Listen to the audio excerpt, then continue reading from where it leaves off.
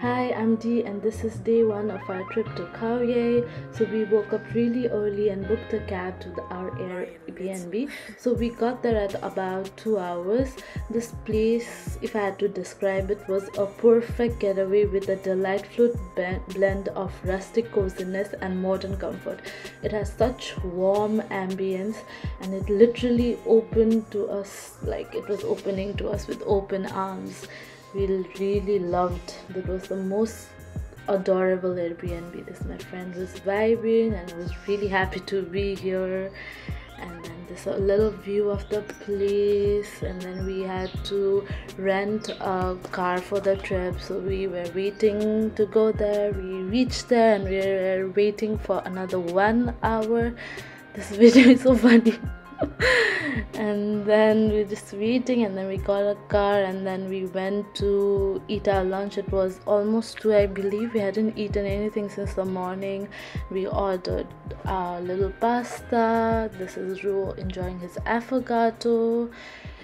And my friends enjoying their drinks. We ordered a lot of food. We really ordered a lot of food and then my friends enjoying their pork chop calamari burger. I ordered a burger but it was good but it was not that spicy so i didn't like it. Like if you know you know.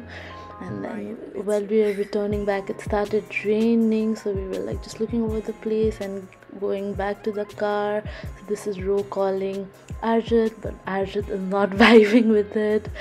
So there's a little walkway to the car my cute friends getting wet and then this is me and so on our way back to Airbnb our Airbnb. We got that there's a little view of the room I was staying in all the decors and this Arjit if you could hear him he's saying let's play tas please let's go play tas that's his favorite dialogue to say. And then we're just waiting we're just looking around places to go. It was raining and then the little task session as always our favorite pastime. this is me telling them to put their back straight. If you're watching this please put their back straight. And then we got ready to get out. Us. And then the boys being boys bullying me as always. and then we just vibing and then we did a little transition of our trip so there's a little bts of what we're doing. We got ready the jazz the pictures getting ready. Look at my friends so pretty. Just waiting.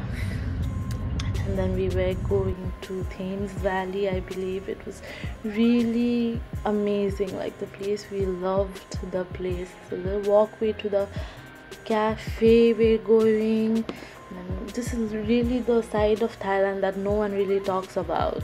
You just hear about the beaches but yeah this little aesthetic video this us going to the cafe so we're just ordering some wine because and some appetizers because we had just eaten lunch all that jazz the instagram picture taking you know the holiday vibing. I also wanted to be included in this video so it was just that.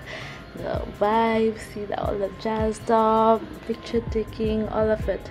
If you could hear this video ashma was scolding Ro to drive slowly because the phone was not holding up we just karaoke and then we were quite hungry by this time so we went to Ribs Mama. And this is one of the recommended places in Yai so we just ordered ribs. I ordered a bar pork barbecue ribs. It was good but it was not spicy so yeah. So look at the food and then we're going back to no we're going to 7-eleven to get some coffee for tomorrow and here and there snacks.